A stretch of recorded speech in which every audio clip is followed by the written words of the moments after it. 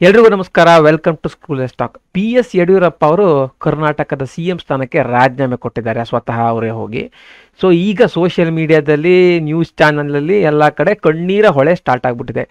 ಯಡಿಯೂರಪ್ಪ ಅವರು ರಾಜಕೀಯದಲ್ಲಿ ಅಷ್ಟು ಕಷ್ಟಪಟ್ಟರು, ಈಗ ಈ ಥರ ರಾಜೀನಾಮೆ ಕೊಡುವಂಗಾಯಿತು. ಹಾಗೆ, ಹೀಗೆ ಅಂತ ತುಂಬ ಎಲ್ಲ ಧನ್ಯವಾದ, ಅದು ಇದು ಅಂತೆಲ್ಲ ಕಣ್ಣೀರ ಹೊಳೆ ಸ್ಟಾರ್ಟ್ ಆಗಿದೆ. ಆದರೆ, ನಾನು ಕೇಳೋದೇನು ಅಂದರೆ ರಾಜ್ಯದ ಜನ ಬೇರೆ ಪಕ್ಷ ಎಲ್ಲ ಬಿಡಿ. ಸ್ವತಃ ಬಿ ಜೆ ಪಿ ಪಕ್ಷದಲ್ಲೇ ಬಿ ಜೆ ಪಿ ಸಪೋರ್ಟರ್ಸೇ ಅವರು ಇವರು ಎಲ್ಲ ಹೇಳ್ತಿದ್ದೇನು. ಯಡಿಯೂರಪ್ಪ ಅವ್ರು ಬೇಡ ಚೇಂಜ್ ಆಗಬೇಕು ಅಂತ. ಮೊನ್ನೇದಾಗಿ ವಯಸ್ಸಾಯಿತು of course seventy five plus ಆಗಿದೆ. ಎರಡನೇದಾಗಿ ಅದೇ, ಒಂದು ಲೀಡರ್ಶಿಪ್ ಚೇಂಜ್ ಆಗಬೇಕು, ಹಾಗೆ ಹೇಗೆ ಅಂತ ಅಲ್ಲೇ ಅವರಲ್ಲೇ ಎಲ್ಲ ಇತ್ತು.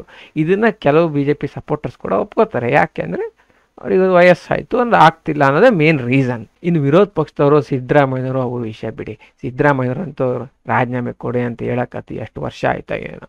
ಇದು ಅವ್ರು ಸಿ ಎಂ ಚೇಂಜ್ ಮಾಡಿ ಅಂತ ಹೇಳ್ತೀರಾ ಸಿ ಎಂ ರಾಜೀನಾಮೆ ಕೊಡಿ ಗೌರ್ಮೆಂಟೇ ಬಿಡಿ ಅಂತ ಹೇಳ್ತಿದ್ದಾರೆ. ಅದು ಬೇರೆ ಪ್ರಶ್ನೆ. ಸೊ ನಾನು ಕೇಳ್ತಿರೋದು ಈ ಮೊಸಳೆ ಕಣ್ಣೀರು ಸುಡೋ ಸಿಂಪತಿ ಎಲ್ಲ ಯಾಕ್ರಪ್ಪ ಈಗ?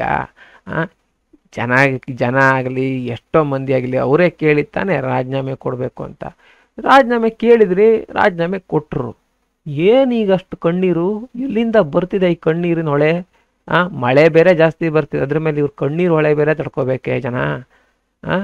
ಯಾಕೆ ಈ ಥರ ಓವರ್ ಆ್ಯಕ್ಟಿಂಗ್ ಮಾಡ್ತಿದ್ದಾರೆ ಅಂತ ಗೊತ್ತಾಗ್ತಿಲ್ಲ ಎಲ್ಲ ಕೆಲವು ಮಂದಿ.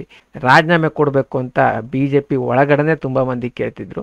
ಸೊ ಲೀಡರ್ಶಿಪ್ ಚೇಂಜ್ ಆಗಬೇಕು ಅಂತ ಮೇಲ್ನವರಿಗೂ ಅನಿಸ್ತು. ಅದನ್ನೇ ಮಾಡ್ತಿದ್ದಾರೆ. ಸೊ ಯಡಿಯೂರಪ್ಪನವರು ಏನು ಪ್ರಾಬ್ಲಮ್ ಆಗಬಾರ್ದು ಅಂತ ರಾಜೀನಾಮೆ ಕೊಟ್ಟಿದ್ದಾರೆ.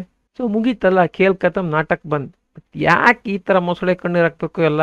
ನಿಮಗೇನು ಅನಿಸುತ್ತೆ? ಕಾಮೆಂಟ್ ಮಾಡಿ. ಈ ವಿಡಿಯೋ ನಿಮ್ಗೆ ಇಷ್ಟ ಆಗಿದ್ರೆ ಶೇರ್ ಮಾಡಿ ಹಾಗೂ ನಮ್ಮ ಚಾನಲ್ಗೆ ಸಬ್ಸ್ಕ್ರೈಬ್ ಮಾಡಲಿಕ್ಕೆ ಮರಿಬೇಡಿ.